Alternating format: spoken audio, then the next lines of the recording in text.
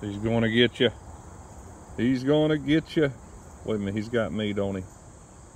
He's going to get us. no. Don't do it, man. Don't do it. Oh, oh, oh.